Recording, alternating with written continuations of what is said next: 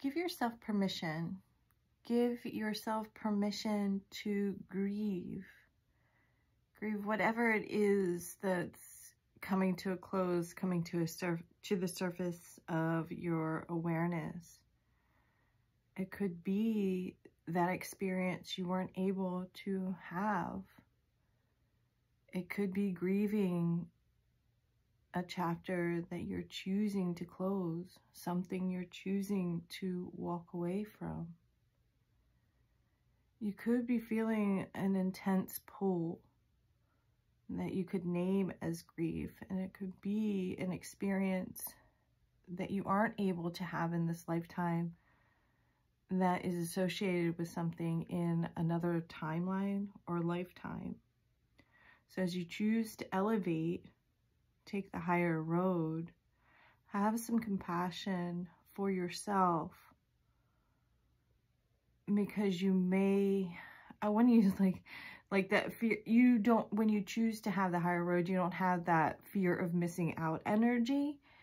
And at the same time, it doesn't mean that you don't have some sort of grief or feeling around something you weren't able to obtain, achieve, or experience.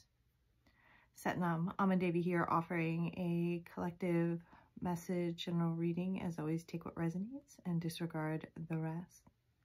Let's see what the cards have to say. I feel like this has to do with an experience um, for many of you in another lifetime. Um, I, I just feel like there's some sort of energies like with this portal, this opportunity of change. Um, you, could be experiencing grief associated with another lifetime yeah, Six of Cups is about past life energies, connections, managing in the material. So doing what's best, taking the steps from the bigger picture. Knight of Swords um, is often like this quick moving energy. Um, but you might be choosing something a little bit more strategic than quick. Uh, boundaries could be important at this time to ensure that the endeavors that you're choosing to carry out for the greatest good um, are handled with care so that energy doesn't continue to pull and tug at you. And that, that might be something that has to, you have to continually um, like cut cords say prayers and elevate your energy and standards. It's it's an ongoing process. Just think about like weeding your flower bed and the cyclical energy of caring for that garden. Uh, and you only want specific roots to take hold in your space. And with that strong attachment and these simultaneous experiences in other timelines, these roots, it takes work to, to sever them and they need to be cut, healed, and addressed with love. Use your intuitive insight, your, your intuitive guidance. If you're feeling someone's energy pull at you, you know, it, it, it might go beyond words of what's happening, uh, but trust, trust the depth of the connections you experience and the healing that you're learning to implement for yourself and call in for others.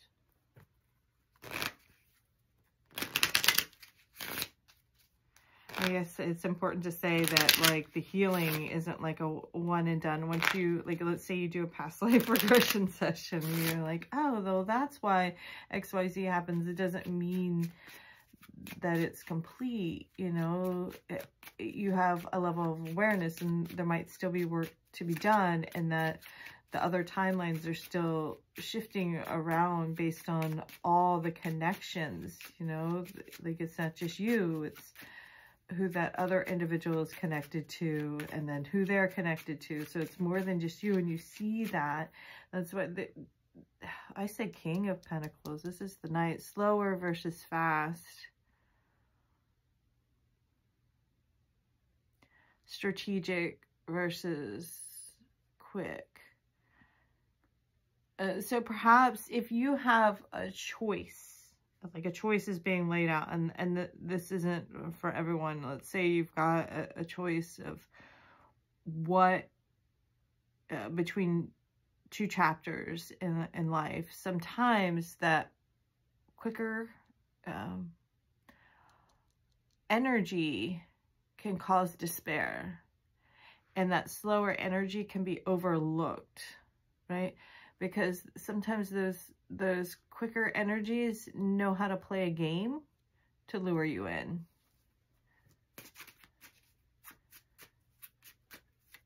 Think about like gassing you up, to, you know, uh, anything is possible.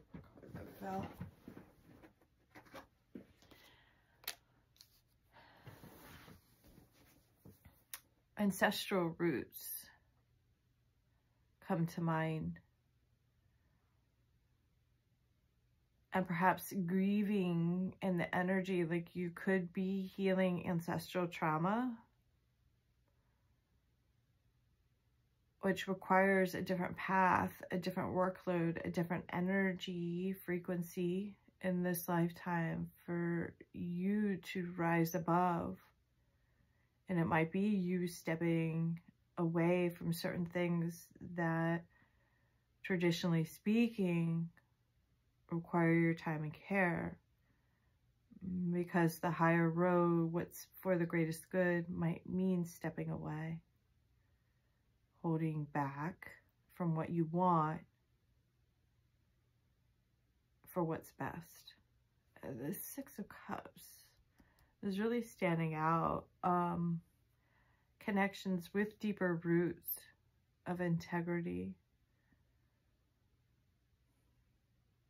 And it feels important to speak to like your blood family, uh, you know, like if that is an unhealthy situation for you to be in, it's okay to step away from traditions to what's best for you. It doesn't mean that you still grieve the loss of the traditions, holidays, or experiences you don't have.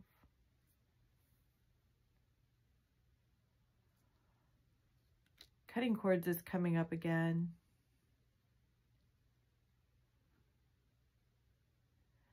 Sometimes, uh, this Knight of Swords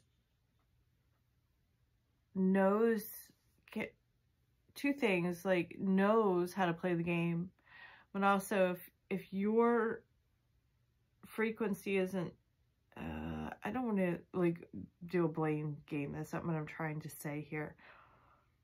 What I say is sometimes you can pick up on the energy and desire of others, right? And you fall into a path, a connection uh, not understanding that sometimes what you feel is what others are feeling and you have rights and feelings of your own.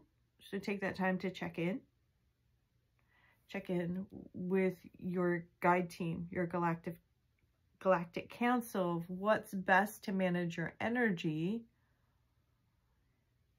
and check in on what timeline you're working with and what frequencies are important to elevate in other timelines, like what healing is involved here.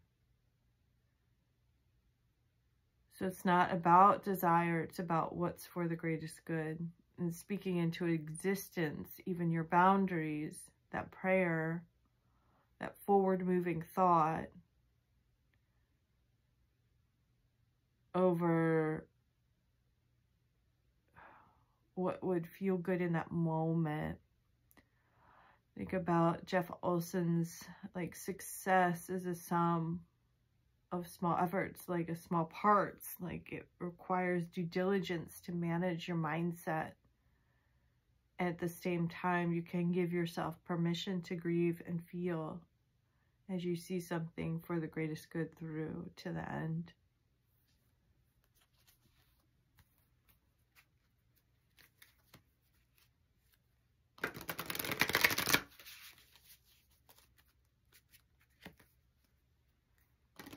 Um, might also want to look at the book from Tom Balles, uh, Dancing with All Things. He taught at Tai Sophia.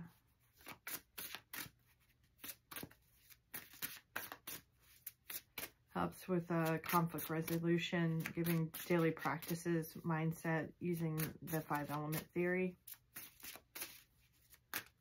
traditional Chinese medicine.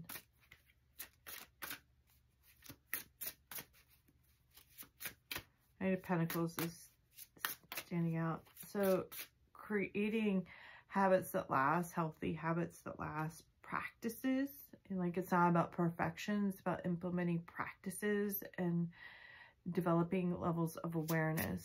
That's different than a quick fix the Knight of Swords provides.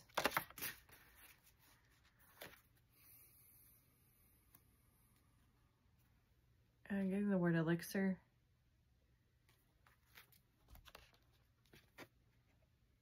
Hold yourself. Hold yourself accountable.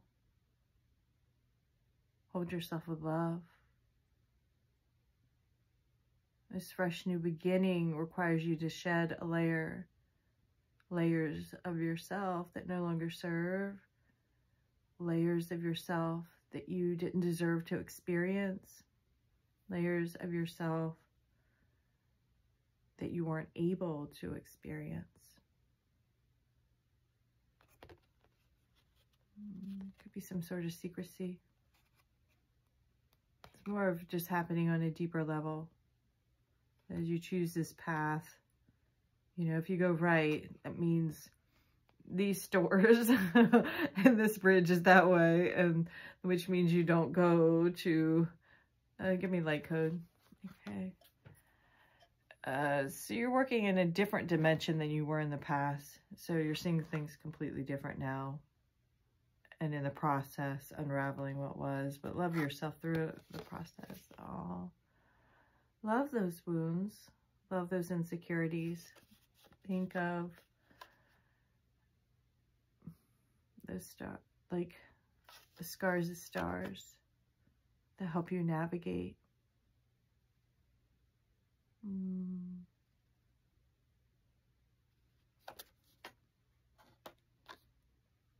Follow your dreams. I'm sorry, this deck, something. I hope it's not too harsh for you, but this deck was calling out. This is that was a spiritual gangster deck.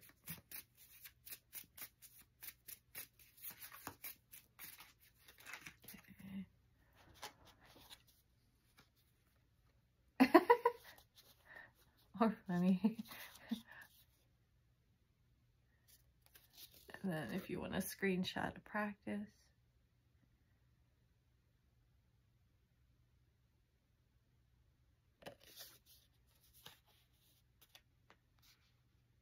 Oh, okay. Now I understand why.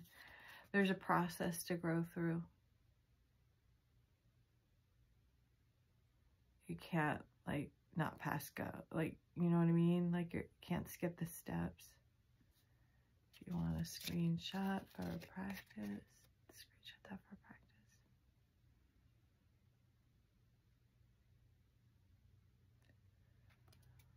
And there might be support that you need, professional or otherwise. You need to give your angels permission to step in to hold you and you might be reluctant to reach out for help because you've been forced to do things on your own. And sometimes your your angels let you do things on your own. It's part of the process of learning, right?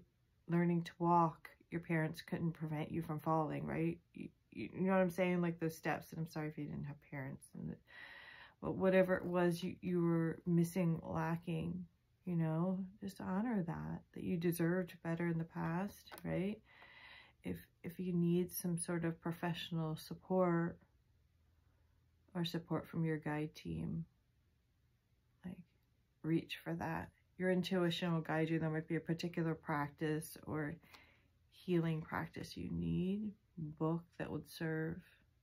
Okay. So don't de deny yourself access to the care that you need at this time. See it flipped out. Um,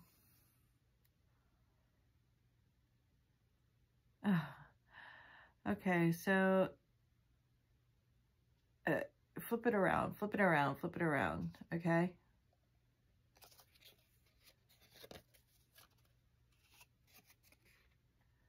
And they give me the words elemental, like elemental theory.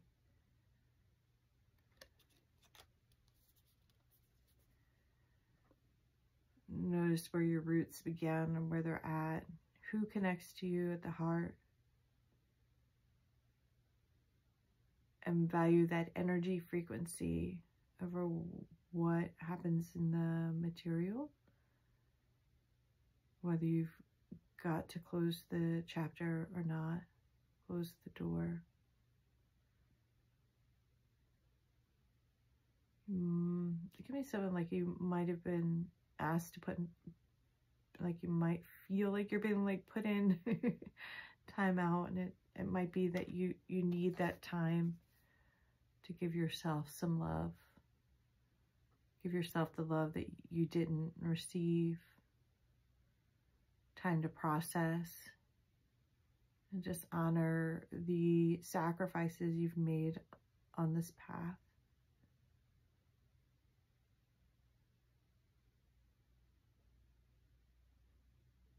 Because you could see clearly something more. Or you were guided elsewhere. Do you hope this serves well? Sending lots of light and love on your path. Set up.